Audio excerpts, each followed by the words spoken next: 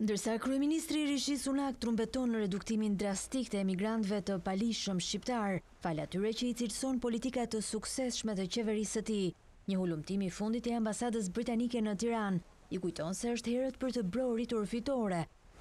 Sekretarja për Punët e Brendshme Suela Braverman, një prej zërave më kritikë kundër shqiptarëve, është paralajmëruar për një valë të re emigrantësh nga vendi ynë që do të kalojnë kanalin e La Manshit këtë verë. Një anketim i realizuar në Kukës i konsideruar si vatra e emigracionit drejt Britanisë së Madhe, e ku janë marrë në pyetje një mijë e tetëqind persona, tregon se gjysma e të rinjve duan të kalojnë kanalin drejt Britanisë këtë verë. Zbulimi sipas të përditshmes Telegraph tregon natyrën sezonale të emigracionit të paligjshëm nga shqiptarët, me valën kryesore që u materializua nga qershori në shtator, kur kaluan kanalin më shumë se dhjetë mijë nga dymbëdhjetë mijë shqiptarët që hynë në vend vitin e kaluar. Paralajmërimi i Braverman vjen pasi kryeministri Rishi Sunak vlerësoi rënien me nëntëdhjetë për qind të numrit të shqiptarëve që kanë ardhur në vend me gomone deri më tani këtë vit, si një tregues se politikat e tij për të frenuar fenomenin po funksiononin.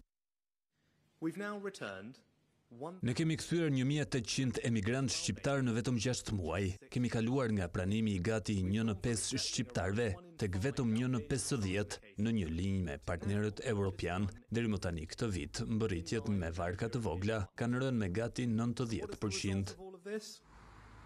Shifrat kanë rënë nga dy mijë e njëqind e gjashtëdhjetë e pesë persona që mbërritën në periudhën janar-qershor dy mijë e njëzet e dy, në njëqind e pesëdhjetë e një në pesë muajt e parë të dy mijë e njëzet e treshit.